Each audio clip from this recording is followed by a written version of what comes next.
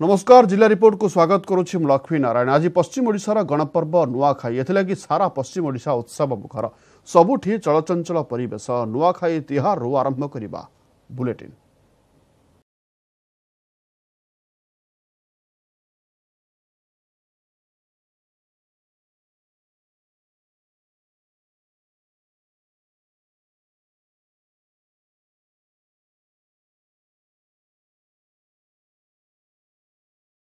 ଭାଦ୍ରବ ଶୁକ୍ଳ ପକ୍ଷ ପଞ୍ଚମୀ କୃଷିଭିତ୍ତିକ ଏହି ଗଣପର୍ବ ନୂଆଖାଇ ପାଇଁ ଉତ୍ସବ ମୁଖର ପଶ୍ଚିମ ଓଡ଼ିଶା। ପରମ୍ପରା ଅନୁଯାୟୀ ପ୍ରଥମେ ଅଧିଷ୍ଠାତ୍ରୀ ଦେବୀ ମା ସମଲେଶ୍ୱରୀଙ୍କ ପାଖରେ ନବାନ୍ନ ଲାଗି ହୋଇଛି। ନୂଆ ଧାନରେ ପ୍ରସ୍ତୁତ ନବାନ୍ନ ମାଙ୍କୁ ଲାଗି ହୋଇଛି। ଲଗ୍ନ ଅନୁଯାୟୀ ସକାଳ ଆଠ ଘଣ୍ଟା ଦଶ ମିନିଟ୍ରୁ ଆଠ ଘଣ୍ଟା ଚାଳିଶ ମିନିଟ୍ ମଧ୍ୟରେ ମା ସମଲେଶ୍ୱରୀଙ୍କୁ ନବାନ୍ନ ଲାଗି ହେଉଛି।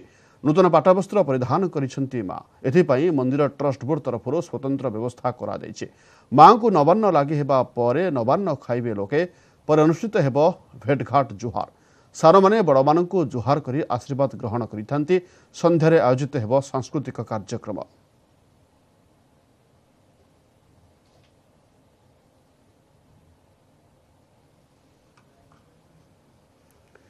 ଏ ସମ୍ପର୍କରେ ଅଧିକ ସୂଚନା ପାଇଁ ଆମ ସହିତ ଅଛନ୍ତି ପ୍ରତିନିଧି ତ୍ରିବିକ୍ରମ ପ୍ରଧାନ। ତ୍ରିବିକ୍ରମ ବର୍ତ୍ତମାନ ଯେଉଁ ଅଧା ଘଣ୍ଟାର ସମୟ ରହିଛି ମାଆଙ୍କଠାରେ ନବାନ୍ନ ଲାଗି ହେଉଛି। ବର୍ତ୍ତମାନ କ'ଣ ରହିଛି? ବର୍ତ୍ତମାନ ଅପଡେଟ୍ ଖବର। ହଁ ଲକ୍ଷ୍ମୀନାରାୟଣ ଦେଖନ୍ତୁ ମାଙ୍କ ଠାରେ ଇଷ୍ଟଦେବୀ ମା ସମଲେଶ୍ୱରୀଙ୍କ ଠାରେ ନବାନ୍ନ ଲାଗି ହୋଇ ସାରିଛି।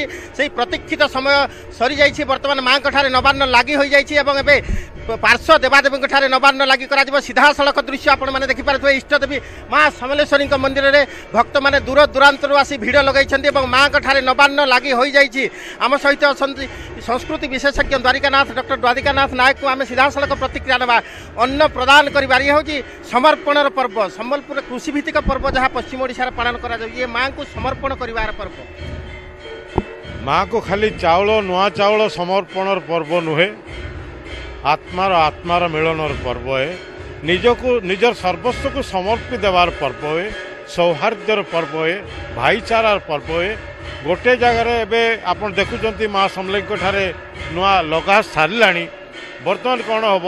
ଯେତେ ପରିବାରରେ ନୂଆ ଖାଇବାର ପ୍ରସ୍ତୁତି ଥିବ ଏବେ ସେମାନେ ସମସ୍ତେ ନିଜ ନିଜ ସମୟରେ ଏକା ସାଙ୍ଗରେ ବସି ଯିଏ ପରିବାରର ବୟୋଜ୍ୟେଷ୍ଠ ବ୍ୟକ୍ତି ସଦସ୍ୟ ତାଙ୍କଠାରୁ ନୂଆ ଭୋଗ ନେବେ ଏବଂ ଖାଇବେ ତାପରେ ନୂଆ ଖାଇ ସାରିଲା ପରେ ତାଙ୍କୁ ଗୋଡ଼ ତଳେ ପଡ଼ି ସମ୍ମାନ ଜଣାଇବେ ଏବଂ ବଡ଼ମାନେ ସାନମାନଙ୍କୁ ସ୍ନେହାଶିଷ ଦେବେ ଯେଉଁଟା ଚଳନ୍ତି ସମାଜରେ ଅଭାବ ଦେଖାଯାଉଛି ଯେ ଯୁବ ସମାଜ ଆଉ ବୟୋଜ୍ୟେଷ୍ଠ ବ୍ୟକ୍ତିମାନଙ୍କୁ ସମ୍ମାନ ପ୍ରଦର୍ଶନ କରୁନାହାନ୍ତି ବା ଛୋଟମାନଙ୍କୁ ସ୍ନେହ ଦେଇପାରୁନାହାନ୍ତି ତାର କାରଣ ହୁଏତ ଅନେକ ଥାଇପାରେ ବାହାରେ ବାହାରେ ରହୁଛନ୍ତି ଆସିପାରୁନାହାନ୍ତି କିନ୍ତୁ ସମାଜକୁ ନୂଆଖାଇର ବାର୍ତ୍ତା ବଡ଼ମାନଙ୍କୁ ସମ୍ମାନ ଦିଅ ସାନମାନଙ୍କୁ ସ୍ନେହାଶିଷ ଦିଅ ଏକତ୍ର ଗୋଟେ ସୂତ୍ରରେ ବାନ୍ଧି ହୁଅ ଏହି ବାର୍ତ୍ତା ଏବେ ମା ସମଲେଶ୍ୱରୀ ନୂଆଖାଇ ତିହାର ମାଧ୍ୟମରେ ସାରା ପୃଥିବୀକୁ ଦେଉଛନ୍ତି ସାରା ପୃଥିବୀ ଦେଉଛି ଆପଣଙ୍କୁ ପୁଣି ଅଟକେଇବି କିଛି ନେବି କିନ୍ତୁ ଆଜମେରିଆ ଯିଏ ଅଛନ୍ତି ଟ୍ରଷ୍ଟ ବୋର୍ଡର ଆଜମେରିଆଙ୍କୁ ପଚାରିବି ମାଙ୍କର ଭକ୍ତ ମଧ୍ୟ। ମାଙ୍କ ଠାରେ ନବାନ୍ନ ଲାଗି ହେଇଯାଇଛି। ଏବେ ପାର୍ଶ୍ୱ ଦେବାଦେବୀଙ୍କ ଠାରେ ଲା- ନବାନ୍ନ ଲାଗି କରାଯିବ। ଲାଗର ଗୋଟେ ଆରମ୍ଭ ହେଇଯାଇଛି ପ୍ରତି ଆରମ୍ଭ ହେଇଯାଇଛି। ଦେଖୁଛନ୍ତି ଆପଣ ଟିଭି ଜରିଆ ଦେଖିପାରନ୍ତୁ ପୂଜକମାନେ ଆସିକରି ପାର୍ଶ୍ୱ ଦେବୀ ଭୋଗ ଲଗାଉଛନ୍ ଏଇଟା ସମର୍ପଣ ଉତ୍ସବ ହେ ଆଉ ସମସ୍ତେ ଏକାଠି ମିଶିକରି ମାଆର ଆଶୀର୍ବାଦ ଗ୍ରହଣ କରି ନୂଆ ନବାନ୍ନ ଭକ୍ଷଣ କରସନ୍ ଏଇଟା ନୂଆ ନୂଆଖାଇ ଯେହେତୁ ନୂଆଖାଇ ହେଉଛି ସବୁଠୁ ବଡ଼ ପର୍ବ ଏବଂ ଯାହା ସିଧାସଳଖ ମୁଁ ଅ, ଦେଖାଉଛି ଇଏ ହେଉଛି ସମଲେଶ୍ୱରୀ ମନ୍ଦିରର ଦୃଶ୍ୟ। ସମଲେଶ୍ୱରୀ ମନ୍ଦିରର ମାଙ୍କର ପାର୍ଶ୍ୱ ଦେବାଦେବୀଙ୍କ ଠାରେ ଅ, ବର୍ତ୍ତମାନ ନବାନ୍ନ ଲାଗି କରାଯିବ। ଯେହେତୁ ମାଙ୍କ ଠାରେ ନବାନ୍ନ ଲାଗି ସରିଛି ଦେଖିପାରୁଥିବେ ସିଧାସଳଖ ଦୃଶ୍ୟ ଲମ୍ବା ଲାଇନରେ ଅଛନ୍ତି। ହଜାର ହଜାର ଶ୍ରଦ୍ଧାଳୁ ଦୂର ଦୂରାନ୍ତରୁ ଆସି ଘଣ୍ଟା ଘଣ୍ଟା ଧରି ଅପେକ୍ଷା କରିଛନ୍ତି ମାଙ୍କ ଠାରେ ଆଉ କିଛି ସମୟ ମଧ୍ୟରେ ଦ୍ୱାର ଖୋଲିବ ଏବଂ ମାଙ୍କ ଠାରେ ଦ୍ୱାର ଖୋଲିବ ମାଙ୍କର ତାପରେ ଦର୍ଶନ କରିବାର ସୁଯୋଗ ପାଇବେ। ସିଧାସଳଖ ଦୃଶ୍ୟ ଦେଖିପାରୁଥିବେ ଏ ହେଉଛି ପାର୍ଶ୍ୱ ଦେବାଦେବୀଙ୍କ ପାଖରେ ନବାନ୍ନ ଲାଗି କରିବା ପାଇଁ ଆସୁଛନ୍ତି ପଣ୍ଡିତମାନେ ଆସୁଛନ୍ତି ଏବଂ ପୂଜକ ଆସୁଛନ୍ତି ମନ୍ତ୍ରୋଚ୍ଚାରଣ ଚାଲିଛି ଏବଂ ମାଙ୍କ ଠାରେ ପୂଜାର୍ଚ୍ଚନା କରାଯାଉଛି ପୁଣି ଦ୍ୱାରିକାନାଥ ନାୟକଙ୍କ ଠାରୁ ନେବା ତଥ୍ୟ ନେବା ଯେ ନବାନ୍ନର କ'ଣ ରହିଛି ବିଶେଷତ୍ୱ ଆପଣ ଯାହା କହୁଥିଲେ ସମସ୍ତଙ୍କୁ ଏକାକାର କରିଦିଏ ମନକୁ ମନର ମିଳନ କରିଦିଏ ଏବଂ ସମସ୍ତଙ୍କୁ ଗୋଟିଏ ସୂତ୍ରରେ ବାନ୍ଧି ରଖେ ସେଇଟା ତ ଆପଣ ଶୁଣିପାରୁଥିବେ ଏ ଯେଉଁ ବାଦ୍ୟ ବାଜୁଛି ଢୋଲ ନିଶାଣ ଦୁନ୍ଦୁବି ଆଉ ତାସା ଏହାକୁ ଭର୍ଣ୍ଣି ପାର ବୋଲି କୁହାଯାଏ ଏବଂ ଏହି ପାର ବାଜିଲେ ମଣିଷ ଦେହରେ ଦେବତା ଆବିର୍ଭାବ ହୁଅନ୍ତି ଯାହାକୁ ସମ୍ବଲପୁରୀ ଭାଷାରେ ବରୁଆ ବୋଲି କୁହାଯାଏ ଏବଂ ଆଜିର ଦିନରେ ଏହି ବାଜାର ମହତ୍ତ୍ୱ ସ- ନୂଆଖାଇ ଯେ କେବଳ ନୂଆ ଶସ୍ୟ ଉତ୍ପାଦିତକୁ ସମର୍ପି ଦେବା ଏବଂ ନିଜେ ଖାଇବା ତାହା ନୁହେଁ ବରଂ ପଶ୍ଚିମ ଓଡ଼ିଶାର ସଂସ୍କୃତି ଲୋକ ସଂସ୍କୃତି ସହିତ ଜଡ଼ିତ ଏ ପର୍ବ ଢୋଲ ନିଶାଣ ତାସା ମହୁରୀ ଆଦି ଲୋକବାଦ୍ୟ ଡାଲଖାଇ ରସରକଲି ମାଇଲା ଜଡ଼ ଆଦି ଲୋକଗୀତ ଏବଂ ବିଭିନ୍ନ ପ୍ରକାର ଲୋକନୃତ୍ୟରେ ଭରପୁର ଆଜିର ପର୍ବ ଏବେ ଆପଣ ଦେଖିଲେ ମାଙ୍କ ଠାରେ ନୂଆ ଲାଗି ସାରିଲାଣି ପୁଣି ଅପରାହ୍ନରେ ଦେଖିବେ ନୂଆଖାଇ ଭେଟ କାର୍ଡ ଏବେ ତ ଖାଲି ସମ୍ବଲପୁର ନୁହେଁ ବଲାଙ୍ଗୀର ନୁହେଁ କଳାହାଣ୍ଡି ନୁହେଁ ସା ରାଜ୍ୟ ଦେଶ ଏବଂ ବିଦେଶକୁ ମଧ୍ୟ ଚାଲିଗଲାଣି ଏ ନୂଆଖାଇ ସଂସ୍କୃତି। କେଉଁଥିପାଇଁ? ଯେ ଗୋଟେ ବିଶ୍ୱଜନୀନ ଭାବ ଆଣିବା ପାଇଁ ଏବଂ ଏ ଅଞ୍ଚଳର ସଂସ୍କୃତିକୁ ସାରା ପୃଥିବୀରେ ପ୍ରଚାର ଏବଂ ପ୍ରସାର କରିବା ପାଇଁ ନୂଆଖାଇ ଏକ ପ୍ରକୃଷ୍ଟ ମାଧ୍ୟମ ହୋଇଯାଇଛି କହିଲେ ଅତ୍ୟୁକ୍ତି ହେବ ନାହିଁ। ନୂଆଖାଇ ଏକ ପ୍ରକୃଷ୍ଟ ମାଧ୍ୟମ ଦୂର ଦୂରାନ୍ତରରୁ ଭକ୍ତମାନେ ଶ୍ରଦ୍ଧାଳୁମାନେ ଆସିଛନ୍ତି ଆପଣ ସୋନପୁରରୁ ଆସିଛନ୍ତି ମାଙ୍କୁ ଦର୍ଶନ କରିବେ ପୁଣି ସୁରେଶ୍ୱରୀଙ୍କୁ ଦର୍ଶନ କରିବେ। ସାର୍ ଏଇଟା ଯୁଗ ଯୁଗ ଧରି ସାର୍ ଲାଗି ରହିଛି ନୂଆଖାଇଟା। ଆଉ ଏଇଟା ଇ ଦିନକେ ଆମେ ସେଲିବ୍ରେଟ୍ କରବା ଲାଗି ବହୁତ ଦିନ ୱେଟ୍ କରିଥିଲୁ।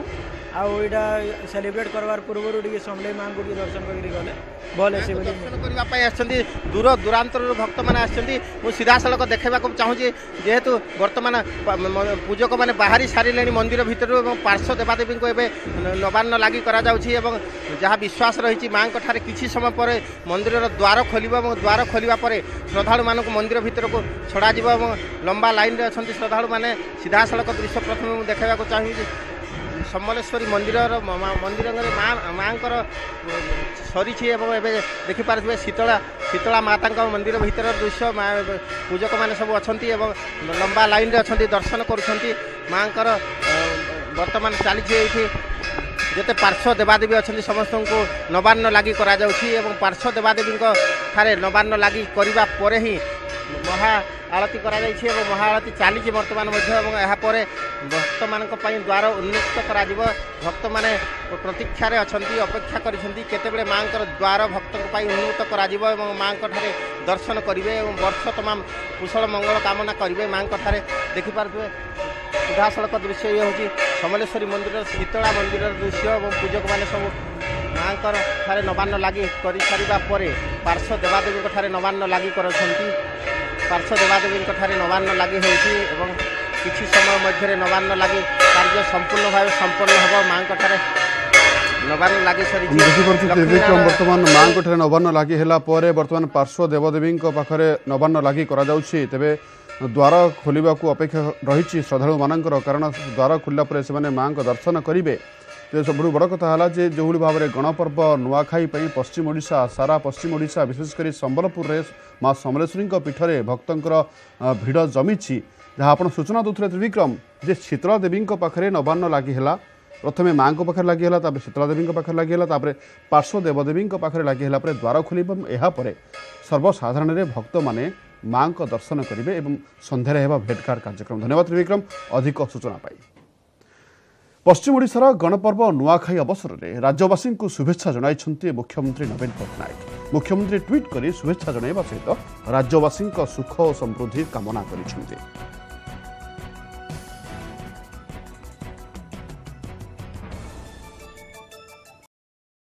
ଗୋଟେ ଗଣପର୍ବ ନୂଆଖାଇ ଅବସରରେ ପଶ୍ଚିମ ଓଡ଼ିଶାର ଭାଇ ଭଉଣୀମାନଙ୍କୁ ଶୁଭେଚ୍ଛା ଜଣାଇଛନ୍ତି କେନ୍ଦ୍ରମନ୍ତ୍ରୀ ଧର୍ମେନ୍ଦ୍ର ପ୍ରଧାନ।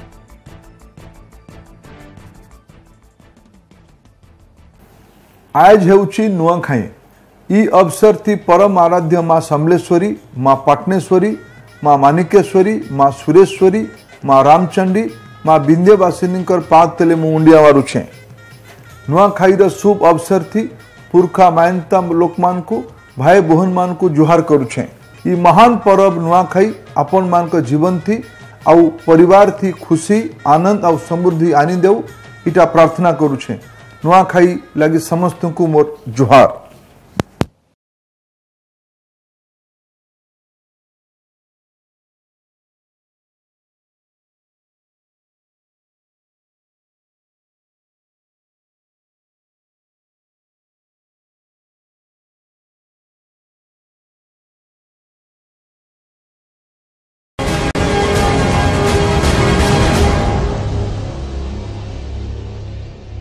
ବ୍ରେକ୍ର ସ୍ୱାଗତ ସାତକୋଶିଆରୁ ବିଦା ହେବ ସୁନ୍ଦରୀ ସାତକୋଶିଆ ଜଙ୍ଗଲରୁ ଅନ୍ୟତ୍ର ସ୍ଥାନାନ୍ତର ହେବ ବାଘୁଣୀ ସୁନ୍ଦରୀ ଆସନ୍ତାକାଲି ସୁନ୍ଦରୀକୁ କାବୁ କରିବାକୁ ମଧ୍ୟପ୍ରଦେଶରୁ ଆସିବେ ନିଶ୍ଚିତ କଟିବ ବନ ବିଭାଗ ପ୍ରଶାସନ ଏବଂ ପ୍ରଜା ସୁରକ୍ଷା ସମିତିର ତ୍ରିପାକ୍ଷିକ ବୈଠକ ପରେ ସୂଚନା ମିଳିଛି ସେପଟେ ବାଘୁଣୀ ସୁନ୍ଦରୀ ଆକ୍ରମଣରେ ମୃତ ମହିଳାଙ୍କ ପରିବାରକୁ ଚାରି ଲକ୍ଷ ଷାଠିଏ ହଜାର ଟଙ୍କା କ୍ଷତିପୂରଣ ରାଶି ସହିତ ଜଣେ ସମ୍ପର୍କୀୟଙ୍କୁ ଚାକିରି ଦେବାକୁ ପ୍ରଶାସନ ଘୋଷଣା କରିଛି ଏ ସମ୍ପର୍କରେ ଅପଡେଟ୍ ଖବର ପାଇଁ ଆମ ସହିତ ଫୋନ୍ ଲାଇନ୍ ଅଛନ୍ତି ପ୍ରତିନିଧି ଭିକାରୀ ମହାନ୍ତି। ଭିକାରୀ ଯେଉଁ ଉଦ୍ଦେଶ୍ୟ ନେଇ ଆସିଥିଲା ସେହି କାମ ହେଲା ନାହିଁ କିନ୍ତୁ ବିବାଦ ବାଦ ବିବାଦ ଭିତରେ ବିଦା ହେବ ସୁନ୍ଦରୀ। ଯେଉଁ ଗତକାଲି ତ୍ରିପାକ୍ଷିକ ବୈଠକ ବସିଥିଲା ଆଲୋଚନା ହେଉଥିଲା ସେଥିରେ କ'ଣ ନିର୍ଦ୍ଦେଶ ବାହାରିଲା ଏବଂ କ'ଣ ସବୁ ଅ, ନିଷ୍ପତ୍ତି ନିଆଗଲା? ଦେଖନ୍ତୁ ଲକ୍ଷ୍ମୀ ଅ, ସୁନ୍ଦରୀ ବାଘୁଣୀ ସୁନ୍ଦରୀକୁ ନେଇକରି ଦୀର୍ଘ ଦିନ ହେଲାଣି ବହୁ ବାଦ ବିବାଦ ଚାଲି ରହିଥିଲା କଳ୍ପନା ଜଳ୍ପନା ମଧ୍ୟ ଚାଲି ରହିଥିଲା ବହୁ ଜନ ଆନ୍ଦୋଳନ ଗଢି ଉଠିଥିଲା। ଯେହେତୁ ଅ, ବାଘ ଯୋଉ କାହ୍ନା ଜଙ୍ଗଲରୁ ଆସିଥିଲା ବାଘ ସିଏ ତାର କୋର ଏରିଆ ଭିତରେ ଜଙ୍ଗଲ ଭିତରେ ସୁରକ୍ଷିତ ଭାବେ ରହିଗଲା। ସେ ଜନବସତି ଅଞ୍ଚଳକୁ ଆସିଲାନି। କିନ୍ତୁ ବାଘୁଣୀ ସୁନ୍ଦରୀକୁ ଯେବେଠୁ ଛଡାଗଲା ସେବେଠାରୁ ସେ ଜଙ୍ଗଲ ଭିତରେ ନ ରହି କେବଳ ଅ, ଗାଁ ଆଡକୁ ମୁହାଁଇଲା ତେଣୁ ଅ, ବିଭିନ୍ନ ଗାଁରେ ଗାଈ ବାଛୁରୀକୁ ଆକ୍ରମଣ କରିବା ମଣିଷକୁ ଆକ୍ରମଣ କରିବା ଏବଂ ଶେଷରେ ଏ, ବ- ବାର ତାରିଖ ଗତ ବାର ତାରିଖ ହାତୀବାରି ଗାଁର ଜଣେ ମହିଳାଙ୍କୁ ମଧ୍ୟ ମାରିଲା। ତେଣୁ ଏହାପରେ ଯୋଉ ସାତକୋଶିଆ ପ୍ରଜା ସୁରକ୍ଷା ସମିତି ଯୋଉ ସବୁ ଗାଁ ଗୁଡାକ ଅଭୟାରଣ୍ୟ ଆ- ଆଖପାଖରେ ରହିଛି ସେମାନଙ୍କ ମଧ୍ୟରେ ତୀବ୍ର ଅସନ୍ତୋଷ ଦେଖା ଦେଇଥିଲା ଏବଂ ଦୁଇ ଦିନ ଧରି ଆନ୍ଦୋଳନ କରିଥିଲେ। ତେବେ ଆନ୍ଦୋଳନ ପରେ ଗତକାଲି ସନ୍ଧ୍ୟାରେ ଯୋଉ ଆଲୋଚନା ଚାଲିଥିଲା ତ୍ରିପାକ୍ଷିକ ବ- ବୈଠକ କହିବାକୁ ଗଲେ ପୋଲିସ ପ୍ରଶାସନ ଏବଂ ଏ, ସାତକୋଶିଆ ପ୍ରଜା ସୁରକ୍ଷା ସମିତି ବନ ବିଭାଗ ମଧ୍ୟରେ ଯୋଉ ଚାଲିଲା ସେଥିରେ ଲୋକଙ୍କର ଯୋଉ ଦାବି ରହିଥିଲା ମୁଖ୍ୟ ଦାବି ଯେ ବାଘୁଣୀକୁ ଏଠାରୁ ସ୍ଥାନାନ୍ତର କରାଯାଉ। ସେ ଦାବିକୁ ପ୍ରଶାସନ ମାନି ନେଇଛି ଏବଂ ଯାହା ପ୍ରଶାସନର କହିବା କଥା ଯେ ଡେରାଡୁନକୁ ଖବର ଦିଆଯାଇଛି ଏବଂ ଡେରାଡୁନରୁ ଦୁଇଟି ବିଶେଷଜ୍ଞ ଦଳ ଆସିକି ପହଞ୍ଚିବେ ଏବଂ ବାଘକୁ ବାଘୁଣୀକୁ ନିଶ୍ଚେତକ ଦେଇକି ଏଠାରୁ ସ୍ଥାନାନ୍ତର କରିଦେବେ। କମ ସେ କମ ସାତକୋଶିଆରୁ ବାଘୁଣୀକୁ ଅନ୍ୟତ୍ର ସ୍ଥାନାନ୍ତର କରାଯିବ ବୋଲି ନିଷ୍ପତ୍ତି ନିଆଯାଇଛି। ତେବେ ପନ୍ଦର ତାରିଖ ଭିତରେ ସେଇ ଏ, ବିଶେଷଜ୍ଞ ଦଳ ପହଞ୍ଚିବ ବୋଲି ଯାହା ପ୍ରଶାସନ ଆକଳନ କରୁଛି। ତେଣୁ ଏ, ଏହା ପରେ ଲୋକମାନେ ଥମିଥିଲେ ତାପରେ ମୃତକ ଯୋଉ ମହିଳା ବାଘ ଆକ୍ରମଣରେ ମରିଥିଲେ ସେ ମୃତକ ମହିଳାଙ୍କୁ ମଧ୍ୟ ତାଙ୍କ ପରିବାରକୁ ଜଣକୁ ଅସ୍ଥାୟୀ ନିଯୁକ୍ତି ଦିଆଯିବ ଏବଂ ଚାରି ଲକ୍ଷ ଷାଠିଏ ହଜାର ଟଙ୍କା କ୍ଷତିପୂରଣ ଦିଆଗଲା। ସେ ବାବଦରେ ମଧ୍ୟ ପ୍ରତିଶ୍ରୁତି ଦିଆଯାଇଛି। ଏ, ତାପରେ ଲୋକମାନଙ୍କର ଅନ୍ୟ ଯୋଉ ଦାବି ଥିଲା ଯେ ଡିଏଫ୍ଓଙ୍କୁ ଏଠାରୁ ବଦଳି କରାଯିବ ତେଣୁ ଯାହା ଜିଲ୍ଲା ପ୍ରଶାସନ ସୂଚନା ଦେଇଛି ଯେ ସରକାରଙ୍କୁ ଲେଖାଯାଇଛି ଯେ ଡିଏଫ୍ଓଙ୍କ ବିରୁଦ୍ଧରେ ଲୋକଙ୍କର ଆକ୍ରୋଶ ବଢୁଛି ତେଣୁ ଏ, ଏହାର କିଛି ପଦକ୍ଷେପ ନିଆଯାଉ ବୋଲି ଯାହା ଜିଲ୍ଲାପାଳ ସୂଚନା ଦେଇଛନ୍ତି। ତେଣୁ ଏସବୁ ପ୍ରତିଶ୍ରୁତି ପରେ ଗତକାଲି ଆନ୍ଦୋଳନ ଅ, ଦୀର୍ଘ ସମୟ ପରେ ଆନ୍ଦୋଳନରୁ ଲୋକମାନେ ଓହରିଥିଲେ।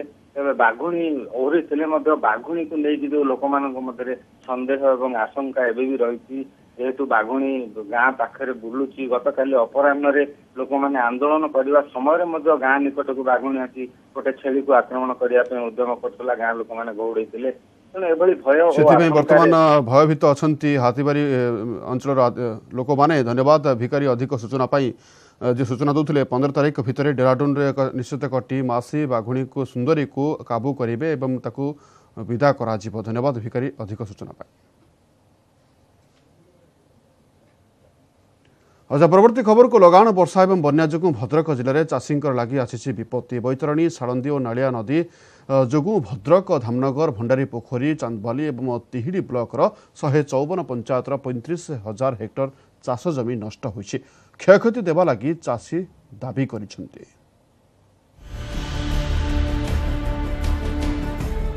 ଲଗାଣ ବର୍ଷା ଓ ବନ୍ୟାରେ ଭଦ୍ରକ ଜିଲ୍ଲାରେ ବ୍ୟାପକ କ୍ଷତି। ବୈତରଣୀ ସାଳନ୍ଦୀ ରେବ କପାଳି ରେଙ୍ଗଟି ଓ ନାଳିଆ ନଦୀରେ ବନ୍ୟା ଆସିବାରୁ ଭଦ୍ରକ ଧାମନଗର ଭଣ୍ଡାରୀ ପୋଖରୀ ଚାନ୍ଦବାଲି ଓ ତିହିଡ଼ି ବ୍ଲକର ଶହେ ଚଉବନଟି ପଞ୍ଚାୟତରେ ବ୍ୟାପକ କ୍ଷତି ହୋଇଛି। ଧାନ ସମେତ ଅନ୍ୟାନ୍ୟ ଚାଷ ବି ନଷ୍ଟ ହୋଇଛି। ପନ୍ଦର ଦିନ ପାଣିରେ ଧାନ ତଳି ବୁଡ଼ି ରହିବା ଦ୍ୱାରା ତଳି ପଚିଯାଇଛି ସୋସାଇଟି ଓ ହାତ ଉଦ୍ଧାର କରି ଋଣ ଆଣିଥିବା ଚାଷୀ ଏବେ ଚିନ୍ତାରେ। ସ୍ଥିତି କ'ଣ କି ଆଗ ବର୍ଷାରେ କିଛି ହେଇନଥିଲା ଏବେ ଯେଉଁ ବର୍ଷା ହେଲା ବନ୍ୟାରେ କିଛି ନାହିଁ ସବୁ ଧୋଇ ଯାଇଛି। ଲୋନ୍ ଫୋନ୍ କରିକି ଚାଷ କରିଥିଲୁ ଆଉ। ଅଶିଣ ମାସ ମାସକ ପରେ ଧାନର ଥୋଡ଼ ହେବ। ଆଉ ତଳା ଧରିକି ଆଉ କିଛି କରିହେବନି ହବ? ସିଏ ରହିଲା ସିଏ ନଷ୍ଟ ହେଇଯିବ ଆଉ। ଆଉ ସବୁ ପାଣିରେ ବୁଡ଼ିକି ରହିଛି ପନ୍ଦର ଦିନ ହେଲାଣି। ଆଉ କିଛି କରିବାର ଏଇଖିଣା ଚାନ୍ସ ନାହିଁ। ଏବେ ଆମେ ନିରାପଦ ଆମେ ଚାଷର ଆଉ ଆଶା ରଖିନୁ। ଆମେ ଚାହୁଁଛୁ କିଛି ଆମକୁ ମିଳୁ ବୋଲି ସରକାର ତରଫରୁ। ସେପଟେ କୃଷି ଅଧିକାରୀ କହିଛନ୍ତି ଚଳିତ ବର୍ଷ ଜିଲ୍ଲାରେ ଏକ ଲକ୍ଷ ଏକଷଠି ହଜାର ପାଞ୍ଚଶହ ହେକ୍ଟର ଜମିରେ ଧାନ ଚାଷ କରାଯାଇଥିଲା। ପାଣି ଛାଡ଼ିଲେ କ୍ଷୟକ୍ଷତିର ଆକଳନ କରାଯିବ। ତାପରେ ଚାଷୀଙ୍କୁ କ୍ଷତିପୂରଣ ଦିଆଯିବା ପାଇଁ ବ୍ୟବସ୍ଥା କରାଯିବ। ତାର ସବିଶେଷ ଆକଳନ କରାଯିବ ଗ୍ରାମ କୃଷି କର୍ମଚାରୀ ଏବଂ ଆର୍ଆଇଙ୍କ ସହାୟତାରେ ମିଳିତ ଜଏଣ୍ଟ ଭେରିଫିକେସନ୍ କରାଯିବ ଫିଲ୍ଡ ଭେରିଫିକେସନ୍ କରାଯିବ। ଭେରିଫିକେସନ୍ କରାଇଲା ପରେ ଯେଉଁ ରିପୋର୍ଟ ଆସିବ ସେଥିରୁ ଜଣାପଡ଼ିଯିବ କେତେ ଜମିରେ ପ୍ରକୃତରେ ଚାଷ ଜମିର କ୍ଷୟକ୍ଷତି ହୋଇଛି। ପାଣି ଛାଡ଼ିଲା ପରେ ଆମେ ଆକଳନ କରିବାକୁ ଯାଉଛୁ। ବନ୍ୟା ଯୋଗୁଁ କ୍ଷତିଗ୍ରସ୍ତ ହୋଇଛନ୍ତି ହଜାର ହଜାର ଚାଷୀ। ଏବେ କ୍ଷତିପୂରଣ ଆଶାରେ ରହିଛନ୍ତି ଚାଷୀ। ଭଦ୍ରକରୁ ପାର୍ଥସାରଥୀ ନାୟକ ନ୍ୟୁଜ୍ ଏଇଟିନ୍ ଓଡ଼ିଆ। ବର୍ଷା ଦିନେ ପାଲଟି ଯାଉଥିଲା ଦ୍ୱୀପାଞ୍ଚଳ। ସାତଟି ପଞ୍ଚାୟତବାସୀ ଭୋଗୁଥିଲେ ଦୁର୍ଦ୍ଦଶା। ମାତ୍ର ମହାନଦୀରେ ସେତୁ ନିର୍ମାଣ ପରେ ବଦଳିଗଲା। ଜଗତସିଂହପୁର ଜିଲ୍ଲା କୁଜଙ୍ଗ ବ୍ଲକ ଜିଲ୍ଲାନାସୀ ପଞ୍ଚାୟତ ସମେତ ଆଖପାଖ ସାତଟି ପଞ୍ଚାୟତର ଚିତ୍ର ବଦଳିଗଲା ଜନଜୀବନର ମାନଦଣ୍ଡ।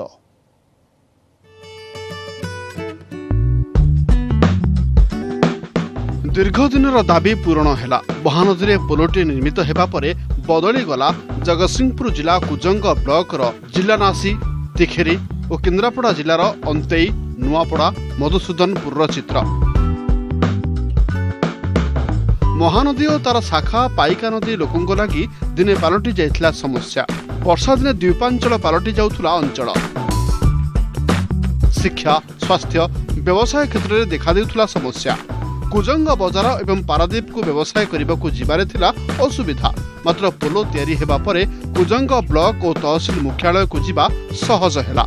ଯେତେବେଳେ ଆମର ମହାନଦୀରେ ପୋଲ ହେଇନଥିଲା ଆମେ ବହୁତ ଅସୁବିଧା ଭୋଗୁଥିଲୁ। ଆମେ ସେପଟରେ ସମସ୍ତେ ହେଉଛି ପରିବା ଚାଷୀ।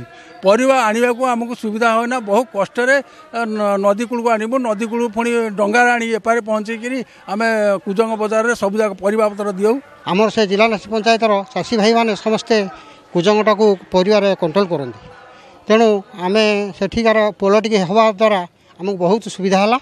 ତେଣୁ ଆମେ ସାଇକେଲରେ ହେଉ କିମ୍ବା ଲୋକ ଭାର କାନ୍ଧରେ ହେଉ କିମ୍ବା କୌଣସି ଯାନବାହନରେ ହେଉ ଆଣିକି କୁଜଙ୍ଗ ବଜାରରେ ସୁରୁଖୁରୁରେ ପହଞ୍ଚାଇ ପାରୁଛନ୍ତି। ମହାନଦୀରେ ପୋଲ ନିର୍ମାଣ ପାଇଁ ବର୍ଷ ବର୍ଷ ଧରି ଲୋକେ କରିଆସୁଥିଲେ ଦାବି। ଶେଷରେ ବାର କୋଟି ତେପନ ଲକ୍ଷ ଟଙ୍କା ବ୍ୟୟରେ ଚାରିଶହ ପନ୍ଦର ମିଟର ଦୀର୍ଘ ପୋଲ ନିର୍ମିତ ହେଲା। ରାସ୍ତା ଓ ଗୃହ ନିର୍ମାଣ ବିଭାଗ ପକ୍ଷରୁ ନିର୍ମିତ ଏହି ପୋଲ ହେବା ପରେ ନଦୀ ସେପଟେ ଥିବା ସାତଟି ପଞ୍ଚାୟତର ଲୋକେ ଶିକ୍ଷା ସ୍ୱାସ୍ଥ୍ୟ ଗମନାଗମନ ଓ ବ୍ୟବସାୟ କ୍ଷେତ୍ରରେ ହୋଇଛନ୍ତି ଉପକୃତ। ଆମର ଶିକ୍ଷା କ୍ଷେତ୍ରରେ ଅବନତି ହେଉଥିଲା ସ୍ୱାସ୍ଥ୍ୟ କ୍ଷେତ୍ରରେ ଅବନତି ହେଉଥିଲା ଏବଂ ବାଣିଜ୍ୟ ପରିବହନ କ୍ଷେତ୍ରରେ ସମସ୍ତ କ୍ଷେତ୍ରରେ ଯେଉଁ ବିରାଟ ଅସୁବିଧା ସୃଷ୍ଟି ହେଉଥିଲା ତାହା ଆଜି ସମାପନ ହୋଇଛି। ସିଧାସଳଖ କହିବାକୁ ହେଲେ ଆମ ସାତ ପୁରୁଷର ଭିଟାମାଟି ଆଜି ସୁନା ହୋଇଯାଇଛି। ଲୋକମାନେ ବହୁତ ହଇରାଣ ହରକତ ହୁଅନ୍ତି ମେଡ଼ିକାଲକୁ ଆସିଲା ବେଳେ ମଧ୍ୟ ଗୋଟେ ପେସେଣ୍ଟ ମଧ୍ୟ ବାଟରେ ନଦୀଘାଟ ପାରି ନଇପାରି ବନ୍ୟା ବେଳେ ମରିଯାଏ। ଲୋକ ଏବଂ ପରିବାପତ୍ର ଯେଉଁ ଚାଷ ହୁଏ ସେ ପରିବାପତ୍ରକୁ ଚାଷୀ ମାର୍କେଟକୁ ଆଣିପାରେନି ମୁଣ୍ଡ ବଜାର ଆଣେ। କିନ୍ତୁ ଏବେ ବ୍ରିଜ୍ ହେବା ଦ୍ୱାରା ଲୋକମାନଙ୍କର ବହୁତ ଲାଭ ହେଇଛି। ଲୋକମାନେ ସୁରୁଖୁରୁରେ ଆସିପାରୁଛନ୍ତି ସନ୍ଧ୍ୟାବେଳେ ଯେଉଁ ଡଙ୍ଗାରେ ଭୟ ଥିଲା ସନ୍ଧ୍ୟାବେଳେ ଆଉ ସେ ଭୟ ନାହିଁ। ପୋଲ ଦୁଇହଜାର ଷୋହଳ ସମ୍ପୂର୍ଣ୍ଣ ହେବା ଦ୍ୱାରା ଲୋକମାନେ ଠିକ୍ ସମୟରେ ତାଙ୍କର ଦୈନନ୍ଦିନ କାମ କରିପାରୁଛନ୍ତି ବ୍ଲକକୁ ଆସିପାରନ୍ତି ପିଲାମାନେ ସ୍କୁଲ କଲେଜକୁ ଆସିପାରନ୍ତି ସ୍ୱାସ୍ଥ୍ୟ ଠିକ୍ ଭାବରେ ପାଇପାରୁଛନ୍ତି। ଚାରିଶହ ପନ୍ଦର ମିଟର ଲମ୍ବାଟା ଲମ୍ବା ବାର କୋଟି ତେପନ ଲକ୍ଷରେ ଆମର ସମ୍ପୂର୍ଣ୍ଣ ହୋଇ- ହୋଇ- ହୋଇଅଛି ଓ ଗ୍ରାମବାସୀମାନେ ଏ କାମ ଦ୍ୱାରା ବହୁତ ଖୁସି ଅଛନ୍ତି। ସେତୁ ଫଳରେ ସାତ ପଞ୍ଚାୟତର ଲୋକଙ୍କ ଅର୍ଥନୈତିକ ଓ ସାମାଜିକ ମାନଦଣ୍ଡରେ ଆସିଛି ପରିବର୍ତ୍ତନ। Jagatsinghpur Kujang ଜିଲ୍ଲାନାସୀରୁ Pinaki Mohanty news eighteen Odia.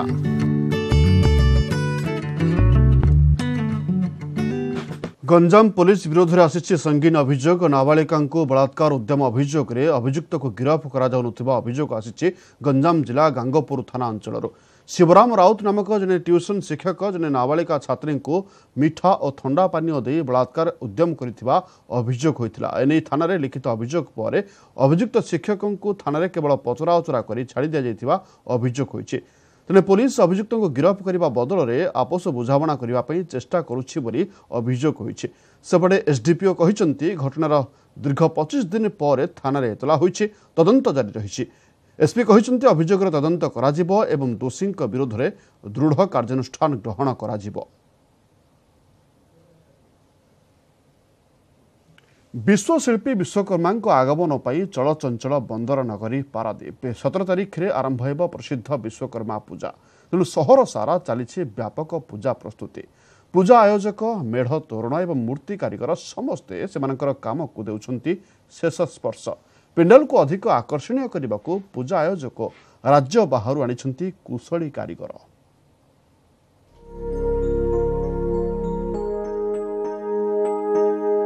ପ୍ରସିଦ୍ଧ ବିଶ୍ୱକର୍ମା ପୂଜା ପାଇଁ ବନ୍ଦର ନଗରୀ ପାରାଦୀପ ଏବେ ପୁରା ଚଳଚଞ୍ଚଳ ବଡ଼ପଡ଼ିଆ ଜୟଦେବ ସଦନ ଛକ ଓ ବ୍ୟାଙ୍କ ଛକରେ ବିଭିନ୍ନ ସଂଗଠନ ପକ୍ଷରୁ ସୁଉଚ୍ଚ ତୋରଣ ଓ ମୂର୍ତ୍ତି ନିର୍ମାଣକୁ ଦିଆଯାଉଛି ଶେଷ ସ୍ପର୍ଶ।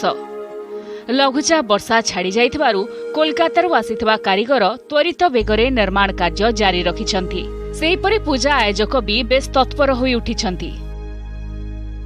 ଏ ବଛର ବି କମ୍ପିଟିସନ୍ ଏ ପୁରା ମାର୍କେଟ ତ କମ୍ପିଟିସନ୍ ମୋ ଜଣା ଅଛି ତ ଯେତେ ଦୂର ପାରବା ଚେଷ୍ଟା କରବା ତାର ମଧ୍ୟ ଦେଖବା ନା ତ ଆର୍ ଏଥର ତ ବାବୁର ସନ୍ପ୍ୟାକ୍ ଉପରେ ସମକା ଡିଜାଇନ୍ ହବ ଆଉ ବିଶ୍ୱକର୍ମାର କାମ ଆସିଲି ଆଉ ଏଫ୍ସାଇ ଆଉ ଇଏ ତମାର youth club Samrat club Ganeshwar ମୂର୍ତ୍ତି କାମରେ ଆସିଲି ଏବେ ହେଉଛି ବିଶ୍ୱକର୍ମା ତମାର ଏଫ୍ସାଇର ମୋ ଗରିବି ମୁଁ ଭଲ କରିବାକୁ ଚେଷ୍ଟା କରିବି।